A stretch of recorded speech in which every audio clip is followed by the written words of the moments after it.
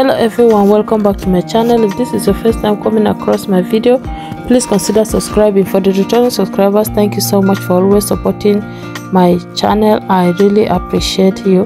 In today's video i'm going to be sharing with you how to make plantain fufu with unripe plantain okay? Which is the best uh, method for making fufu or plantain fufu and is the healthiest uh, method that you will ever ever make I'm going to begin by peeling off my plantain. It's a little bit hard to peel unripe plantain, okay? So as you can see my fingers are all messed up, but yeah, peel them off properly and once you're done, just cut off all those uh, areas that are dark or bad, but if they are not, then it's fine. I'm then going to go ahead to just uh, split this into two and I'm going to take out the seed inside there. I'll just take it out that strand that's inside. I'm going to take it out. Why you're taking that out is because you don't want it you don't want the food to be dark when you finish cooking. So the best way to have to maintain the uh, bright color is to cut that off. Then once I'm done uh, taking them out I'm going to go ahead and just chop them roughly into a easy uh, blending size so that it will be easier for my blender to blend. And now I'm done I'll just transfer it into this bowl and I'm going to go ahead to wash this properly. Once I'm done into my blender I'm just going to add in the washed plantain that I washed. I'll add in enough water for it to blend but I'll add it bit by bit. So I'll just cover the blender and I'm going to pulse it and yeah that is it. At the beginning it's going to be a little bit hard okay? And it's going to look like it's a, a bit hard but just add a little bit more water.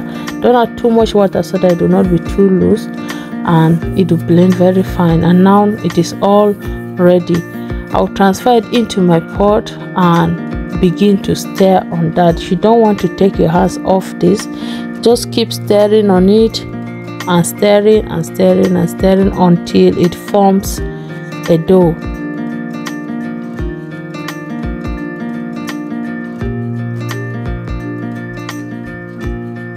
And why you are going to be stirring this is for is to avoid it being lumpy. When you stir it constantly, it's going to come out very smooth and you will see this at the end when the result comes out. Can you see how well this is formed now but this is not ready yet. As you can see the color is still looking the same so this is not ready yet. You want to stir very very well because this is the point where it always get lumpy if you make any mistake at this point now. So you want to stir very very well and you want to hit it against the uh, pot like closer to the pot so that it will uh, happy to break down the lumps that are there. I'll just go ahead cover it and add in a bit of water and cover that for about five uh, minutes for it to cook again. And once it was done i'll start beating it again. I mean it is very easy and as you can see the color is changed and our food is forming very very well. I'll mix this for about three minutes again and it is all ready now and it is time for us to serve. And what I always do is to take my cling film spread it out in a bowl that I want the food to the shape that I want the food to be. And then I'm just going to cut out the cling film and I will bring the food and then I'll just put it inside the cling film. It's going to be this sticky but don't worry that's how it is because it's not there's no oil under so so that is it.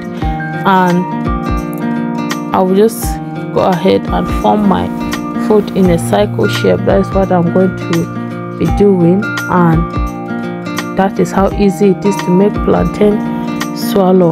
Very easy and it's also a very healthy food you know. Just look at that. The food looks bright and the color is still bright. That is because we took out that seed inside. If not it would have been darker than this but can you see how bright this is looking? Our swallow is all ready just look at that smooth and soft.